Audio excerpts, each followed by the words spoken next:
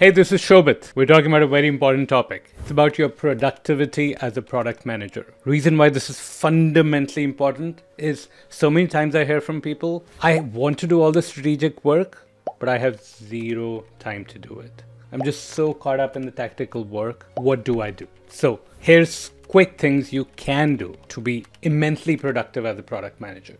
Okay, let's get started.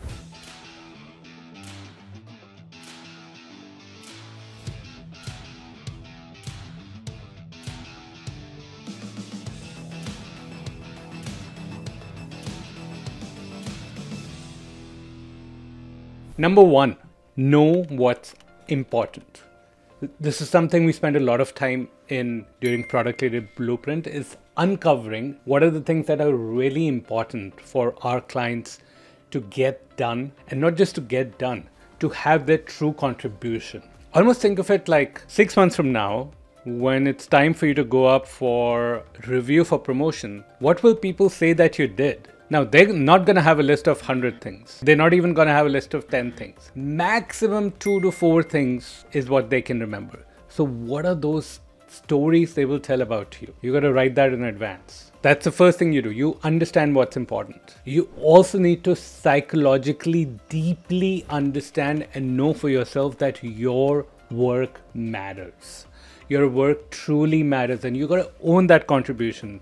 Because, look, if you don't, if you don't truly own the value of your work, what will happen is when somebody else comes and says, Hey, could you get this done for me? Or, you know, I, this is a deadline for you for this work that's important to me. You'll be like, Cool, I'll just go get that done because what's the importance of this strategy presentation that I've been building? So, understand and know psychologically that your work matters, have a deep sense. Then, what you do is you start to ne- renegotiate your job renegotiate your schedule. Don't ever assume that you got to do your job as it's given. That's one of the fundamental mistakes product managers make. You got to keep renegotiating and keep thinking about what are things I want to get out of doing? What do I think I want to take on? Make sure and understand that that is up to you, your manager, and it's a negotiation process that's always undergoing. Once you know that you need to negotiate, next thing you do is you find people to do the things that you don't want to do. This is where I see a product managers with blinders on, right? Like, oh, this is my job. I need to get it done. For example, planning a sprint. This is my job. I need to get it done. Well, back in the day when I used to work at Google, I found some engineers who did that for me. And why did they do? Well, this was a great way for them to get trained on how do they become leaders, how do they become managers, which was their future goal. It was well aligned for them. And for me, it was zero value. Like planning the sprint after I have the high level vision and high level things we want to achieve, I didn't get any value out of it. They did a much better job. They gained, they got promoted, they were passionate, they showcased their leadership skills.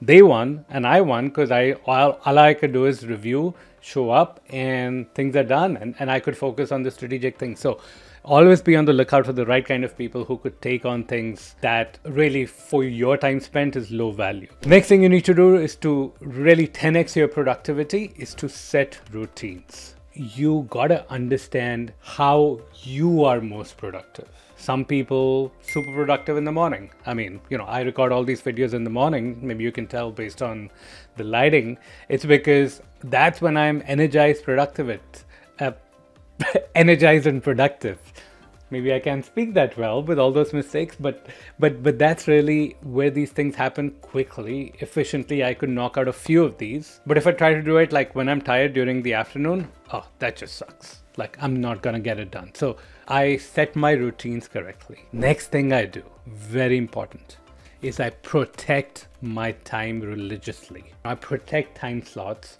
I mean, now I can do even more so as an entrepreneur, but even as a product manager, I have these slots.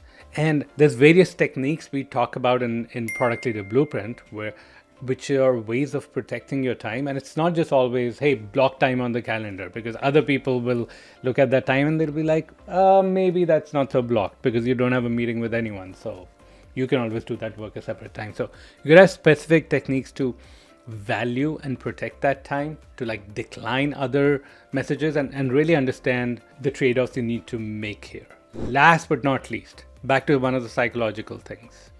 you need to value your time like you value other resources, like money, like uh, other people's times. Because look, the thing that's most finite in the world, like you can always make more money, but you have limited time on this earth. Someday you'll die. Just a, just a fact. I don't mean to bring death into the picture, but the more you realize that your time every day is limited, your time on this planet is limited, and there's other people who deserve your time, like your loved ones, your family, your friends, and it's not just about work. The more you value that time and you bring a sense of urgency that makes you productive. So, those are the things you can do to become more productive. And of course, look, if you're really interested in becoming a top product manager, book time with us.